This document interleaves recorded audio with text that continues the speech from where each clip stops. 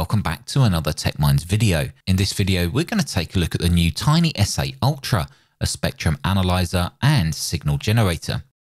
Now the Tiny SA Ultra has to be the most cost-effective way of checking how well or how bad a radio transmitter or receiver works, with its current price coming in at around 100 UK pounds. The features that the Tiny SA Ultra offers would cost thousands in high-end gear, but does the cheap price mean it's not going to work? Well, in this video, we'll perform some transmitter and receiver tests and you can make your own minds up afterwards. So in the box, they supply a USB-C cable which can be used to either charge the Tiny SA or be used to connect to a PC running the Tiny SA software. A couple of short SMA patch cables are also supplied in the kit, which can be used to connect to equipment or used to perform the initial calibration, which we'll look at shortly. Now along the bottom of the Tiny SA Ultra, there's a USB-C connection along with a micro SD card slot and a 3.5mm jack. The SD card slot does come with a 32GB micro SD card already installed. Now this can be used to save any data like screenshots or profiles. The 3.5mm socket can be used to plug in headphones as the Tiny SA Ultra can demodulate FM signals if required. Now on the top of the Tiny SA, you'll find a small power switch and a little movable control to scroll through the menus. However, the screen is touchscreen, so you don't need to rely on this. On the side, we have two SMA connections. Now one is used for calibration and the other is the main RF output and input. Now for those that are interested, here are the main specifications of the Tiny SA Ultra. In Spectrum Analyzer, high performance mode is supported from 100 kHz up to 800 MHz, and while in ultra mode, stable performance is supported up to 5.3 GHz. In RF signal generator mode, a sine wave output of between 100 kHz and 800 MHz is supported, and with a square wave output, the supported frequency range is between 800 MHz and 4.4 GHz. Now, the Tiny SA Ultra features a 4 inch colour touchscreen along with an internal 3000 mAh rechargeable battery. So once powered on, there are two main modes of operation, either Spectrum Analyzer or Signal Generator, which are selectable by using the jog wheel at the top, or obviously the touchscreen. Now if you've used the Nano VNA in the past, then the user interface of the Tiny SA will be quite familiar to you.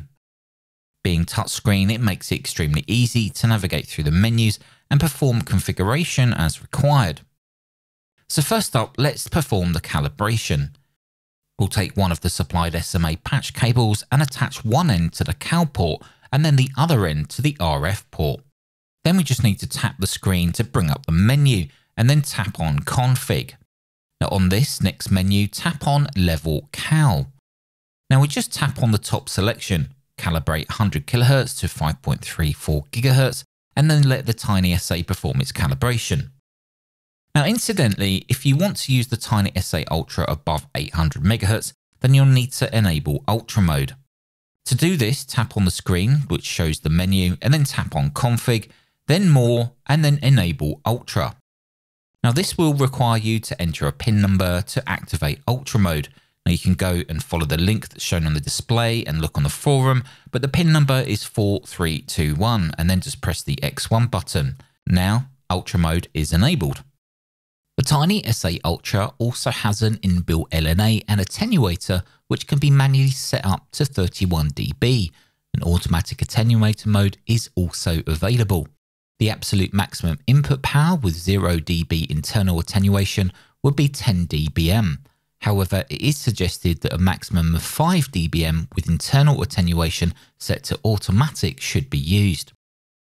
So let's perform some tests and for this I will use the Windows software so it's easier for you to see the results. I'm going to connect to Baofeng UV-S9 Mark III to a 10 dBm attenuator which then connects to a 20 dBm attenuator. I'm only doing this as I don't have a 30 dBm attenuator to hand and I wanted 30 dBs of attenuation externally before the signal gets into the Tiny SA Ultra.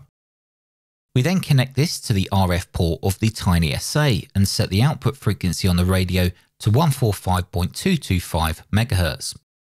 The radio has been put into low power output, which measured about 1 watt on FM.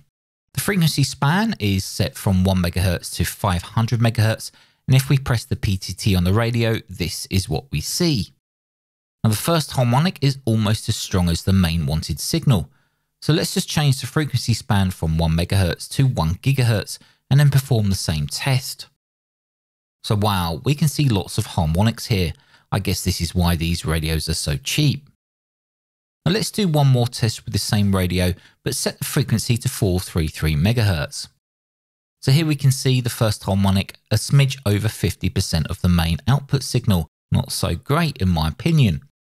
So let's change radios and for this test I'll use a GD88 on the same frequency as before and on low power. Now that looks to me like a pretty clean output, which is extremely surprising. So lastly, let's test the output from a Yaesu FT3D, also set to 145.225 MHz and on low power. That's also very clean. In fact, I don't think I would expect anything less from Yaesu. So let's try 433 MHz and see how well that performs. Now what's interesting here is that we do see a fairly low harmonic, around minus 50 dBm. So that's the analyzer function briefly tested, so let's now try the signal generator. So for the first test, I'll use the GD88 and set the frequency to 145.225.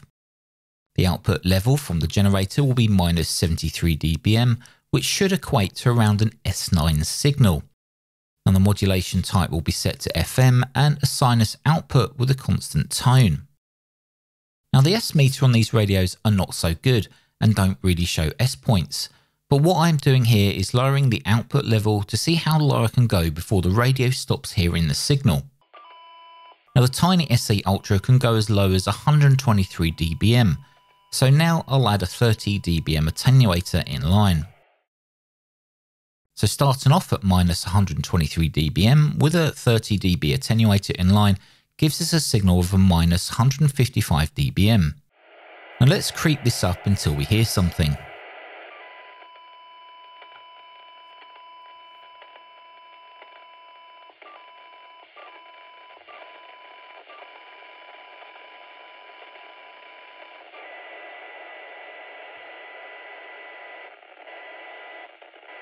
So at about minus 127 dBm is where we lose the signal from the generator. That's not bad at all. So now let's perform the same test with the Yaesu FT3D. This time I'll start off with the hardware 30 dBm attenuator already attached.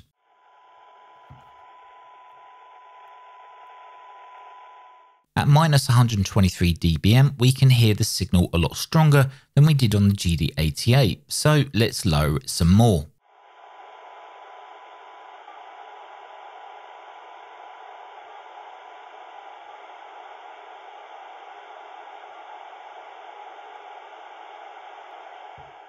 So the lowest I could go was minus 134 dBm before hitting minus 135 dBm where the signal was lost completely.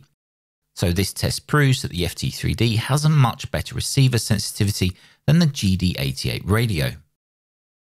Let's finally test the Baofeng radio that I tested earlier. Same frequency of 145.225 MHz and the generator has the same settings.